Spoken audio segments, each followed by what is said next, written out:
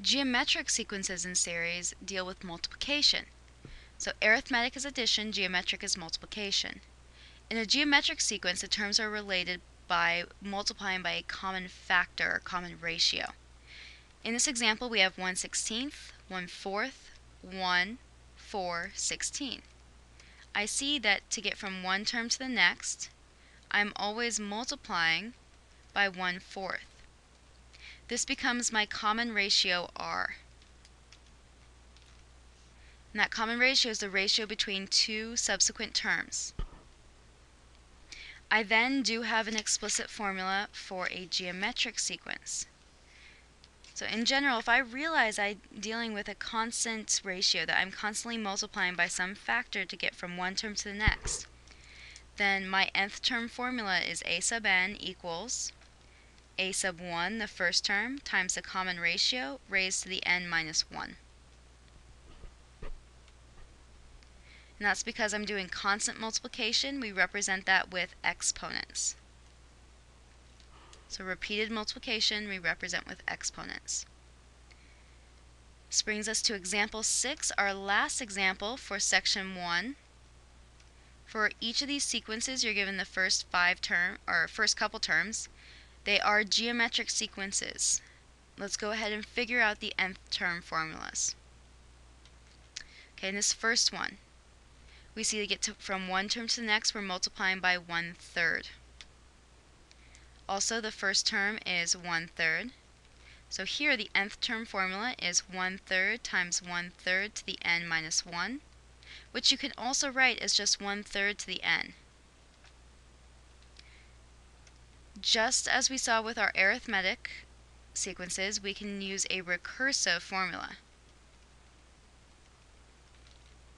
in which case we recognize that the first term is a is a sub 1 equals 1 third, that each term afterwards we take the previous term and multiply by 1 third, and that this only works for n greater than or equal to 2.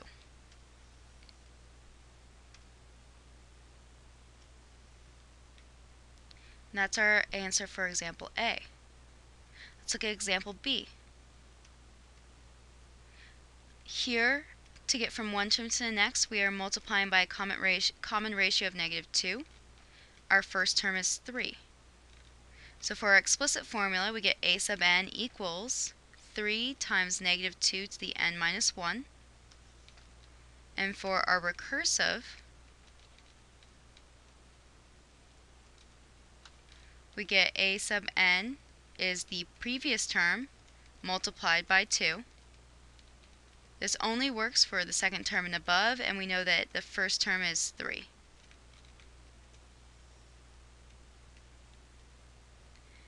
And lastly, we have example C. On this one, we recognize that, and it might help to rewrite 5 as 5 over 1. If you get something that has a bunch of fractions, it's usually easier to deal with the numerator and denominator separately. In this one, we recognize that the numerator is constantly multiplied by 2, and the denominator is constantly multiplied by 7. This means we have a common ratio of 2 sevenths, where the first term is 5. This gives us an explicit formula of 2 sevenths times, nope, I reversed those. Your first term, 5, times the common ratio 2 sevenths to the n minus 1.